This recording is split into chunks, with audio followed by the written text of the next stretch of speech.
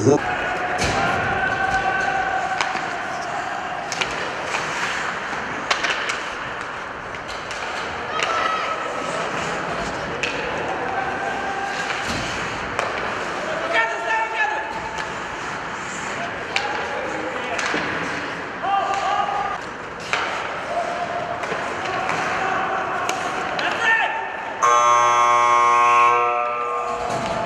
Итак, дорогие друзья, закончился первый кубковый матч между командами «Физкультурник» и «Юность». Победу одержала команда «Юность» со счетом 4-1.